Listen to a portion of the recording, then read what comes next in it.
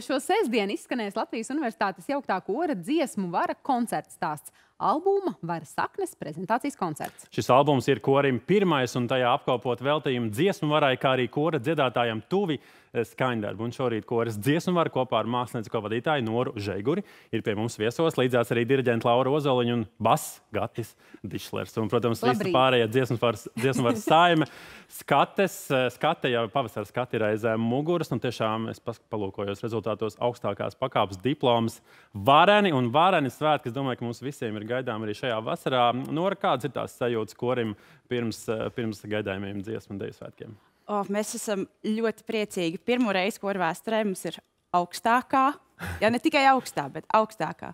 Un, uh, un tas laiks ir bijis ļoti saspringts, jo dziesmu sēka tas ir milzīgs notikums, un visi tam gatavojās, un daudz gatavojās, un mēs vēl izdomājām albumu ierakstīt.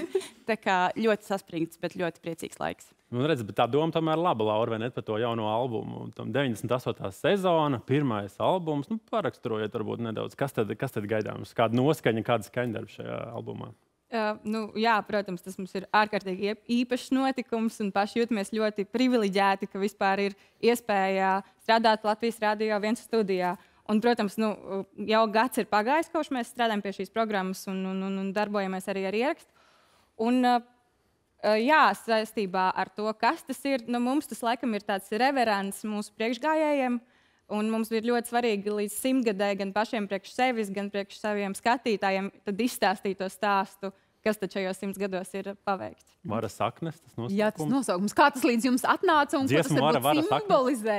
ļoti labs jautājums. Demokrātiski, ja, pirmkārt. uh, koris iesniedz savas idejas, mēs veicām aptauju un beigās uh, tas vara simbols, kas ir ļoti svarīgs, un tas, ka tās ir saknes mūsu apvienojās. Man liekas, ka Arta bija tā, kas ir nosaukuma autore. Nu, ah, redz, paldies, Arta. Nosaukuma autore ir līdzās.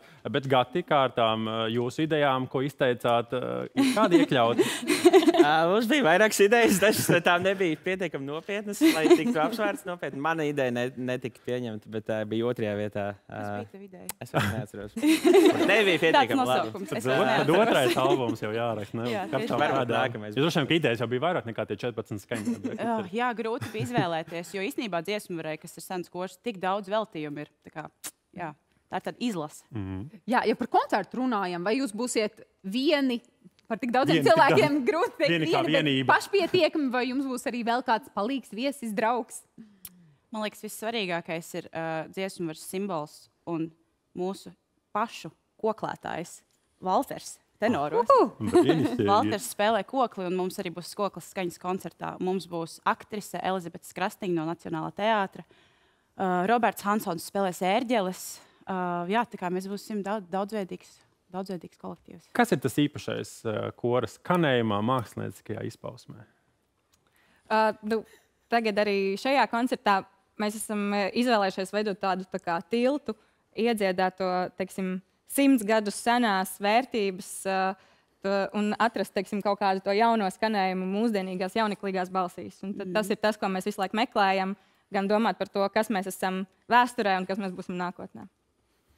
Nu, skaisti. Es domāju, skaists būs arī priekšnesums. Šodien? Un, uh, šodien.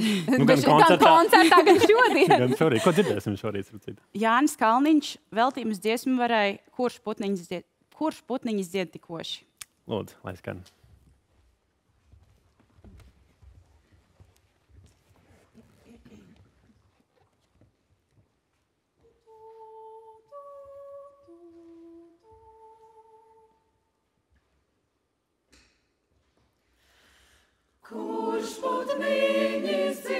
Cool.